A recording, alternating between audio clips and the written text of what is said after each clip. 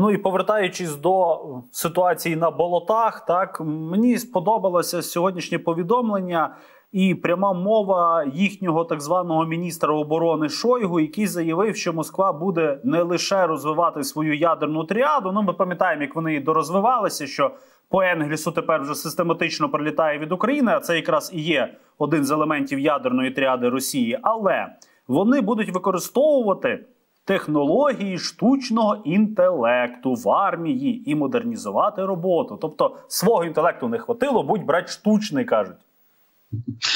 Справа у тому, що перший, хто заговорив в збройних силах Російської Федерації про штучний інтелект, це був е, ще міністр оборони Сердюков. Такий такий був.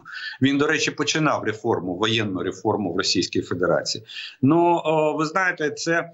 Це точно так же, як ті ж самі мультики, які показував 8 років. Путін показував е, федеральному зібранню кожного року, звітуючи, що вони там спромоглися зробити. Е, те ж саме, те ж саме і буде з е, штучним інтелектом. Там для того, щоб його е, застосувати або внедрити в збройні сили, на мій погляд, треба е, зробити як написано в, в цьому в інтернаціоналі все зруйнувати, а затім, а за а затім побудувати щось нове. Ну вони принаймні зрозуміли, що проблеми в їхній армії системні, навіть не систематичні. Так, е, Буквально це, це нещодавно вони те, презентували що, цю реформу з купою авіації, авіаційних полків, вертольотних, десантних дивізій з танками. Так і як це все буде гарно працювати з безпілотниками в кожних руках. Тут передумали, сказали, ні, треба штучний інтелект.